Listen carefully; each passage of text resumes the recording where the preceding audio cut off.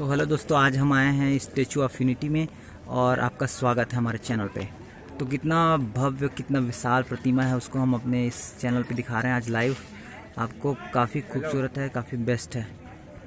हाँ जस्ट इसके जो मूर्ति है ना स्टेचू है उसके बगल में आ, ये जो है ना सरोवर है छोटा सा। आ, और ये स्टेचू ऑफ़ यूनिटी लिखा हुआ है काफ़ी अच्छा और भव्य है इसको आप देख पा रहे हैं। ठीक है? और यहाँ से नज़ारा काफ़ी खूबसूरत है, मस्त है। आसपास का एरिया भी खूबसूरत है। अभी हम इधर का दिखा रहे हैं तो इसके जस्ट पीछे में अभी स्टेचू ऑफ़ यूनिटी है। अभी हम लोग निकल रहे हैं घर अभी, ये टाइम हो गया है।